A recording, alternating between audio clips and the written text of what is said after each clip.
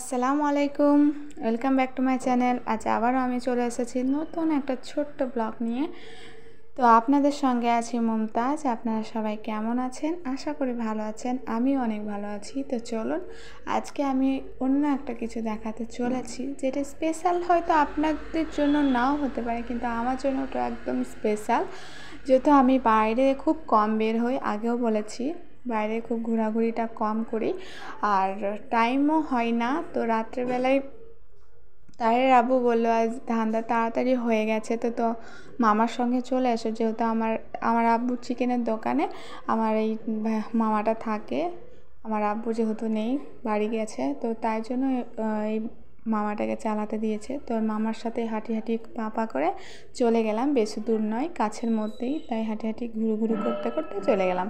তো এই দেখো, এটা হচ্ছে কেকের ভাটি। এই কেকের ভাটিতে কেকটা সত্যি অসাধারণ পাওয়া যায়। খুব ভালো। বা অন্যান্য কেকের দোকানের তুলনায় এই কেকের দোকানে রেট বেশি নেই, কিন্তু অসাধারণ। তো চলে এসেছি পাশেই আছে আমার হাজব্যান্ডের ছোট্ট খাট্ট একটা কাজের জায়গা। তো যেটা আমরা হোটেল বলি বাংলা ভাষায়, ছোট্টখাটো হোটেল। আর এখানে তো ধাবাই বলে বেশিরভাগ এটাকে। তো কি বলে আমি অ্যাকচুয়ালি জানি না। তো যাই হোক, ছোটোখাটো হোটেল, ধাবা যেটাই বলো, দেখে নাও। এই যে টিনের আছে, এটা হচ্ছে গোটাটাই। পুরোটাই আমাদের মানে ইয়ে কিন্তু এখন কাজ চলছে, তাই জন্য এখন বন্ধ আছে। তাই জন্য এই ছোট্ট যে গাড়িটা দেখছেন, এর মধ্যে এখন কাজ চালাচ্ছে। তো ওটা কাজ কমপ্লিট হওয়া মাত্র এখানে কষ্ট করে করতে হবে। তো ওখানে একটা ছেলেও নেই, যে ছেলেটা ছিল, সে ছেলেটা প্রয়োজনে বাড়ি গেছে। তো আসার পর আবার স্টার্ট করবে এখানে। ততদিন কাজটা হতে থাক হোটেলের পুরো কাজটা কমপ্লিট করুক। তো এই যে আমার ছেলে, এখানে একটা ফাঁকা জায়গা আছে। তো এই জায়গাতে আমার ছেলেটা খুব দৌড়াদৌড়ি করে আর খুব এনজয় করে এখানে এসে। তো এত জোরে জোরে দৌড়াচ্ছে। আমি বলছি, বাবু, এত জোরে জোরে দৌড়াস না, কেউ উঠিয়ে নিয়ে চলে যাবে। কত ভয় দেখাচ্ছে, কিছুই মনে করছে না। তো যেহেতু ও এ প্রথমবার নয়, এ অনেকবারই এসছে আমার ওই মা, ওই যে মামাটার সঙ্গে। তো বলে যে এরকমই করে ও তো পাঁচ ছবার আছাড় এমনিতে খেয়ে নিয়েছে। তো আমার ভয় লাগছে তো ওকে নিয়ে এসে দেখো কেমন ধরছে তুলে বলছে তোকে ঝুলে দেবো। এরকম করে গেলে পরে তোমায় ঝুলে দেবো। তাও কথা শুনছে না, ছাড়িয়ে দিয়ে কেমন করে দৌড়াচ্ছে দেখো। একদম অনেকটা অনেকটা বড় জায়গা। তো যাই হোক, ওকে কোনো রকম করে নিয়ে এসে এখানে একটু বসার চেষ্টা করে।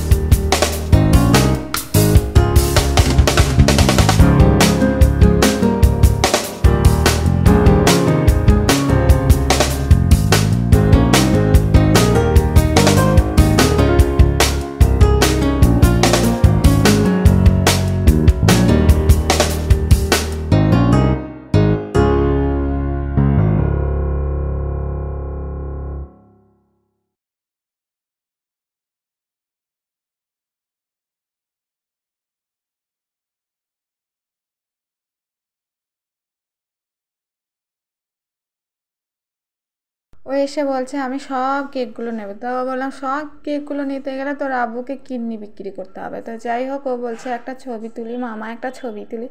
কিন্তু আমার ছেলে যা ছেলে বা আমার ছবি তুলবে? বলছে, না, আমি তুলবো না। তো বলছে একটা ফটো তুলে না, কীরকম গো? আমি বললাম, ওরকমই ও, কী করা যাবে? তো বলছে, কেক খাব। তো এই যে ছোট্ট পাড়া পিস আছে, ওই কে, ওই একটা কেক নিলাম আর চলে এলাম। তো যতক্ষণ থাকব, ততক্ষণ আমার মাথা খারাপ করবে, এই যে আমার হাজব্যান্ড চলে যাচ্ছে রোড পার হয়ে আমাদেরকে বলল, এদিকে ব্যাক করে বাড়ি চলে যাও। তো আমরা এই সাইডে যাব, ওখানে যেহেতু আর একটা জায়গা আছে, তো ওখানে মানে কিছু কাজ আছে বলে ওখানে গেল, আর আমরা এদিক দিয়ে হাঁটি হাঁটি পা পা করে যাব, আর ওই দিকে ওনার সঙ্গে নিয়ে একসঙ্গে বাড়ি চলে যাব। তো চলো, এই অবধি আমরা যাচ্ছি আবার ব্যাক করে বাড়ি। শুধু আমাদের দেখানোর ইরাদা ছিল আমার, আমি, আমার হাজব্যান্ড যেখানে মানে মাছ ফ্রাই করে, যেটা ছোট্ট হোটেলের মতো, যেটা আমরা ধাবা বলি, তো সেটা দেখানোর ইচ্ছে ছিল, তাই দেখালাম। তো এবার আমরা বাড়ি যাচ্ছি ব্যাক করে।